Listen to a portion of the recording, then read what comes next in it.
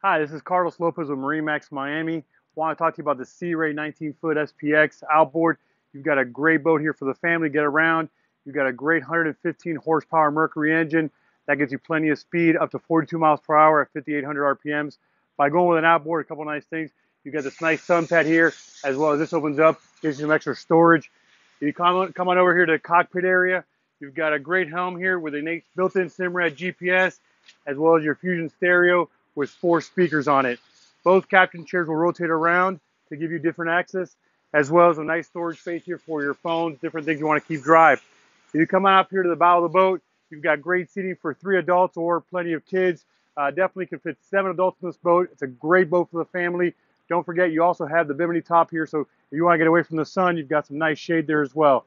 If you're interested in this boat, guys, give us a call. We're MarineMax Miami. Again, my name is Carlos. My phone number is 305 457 1270.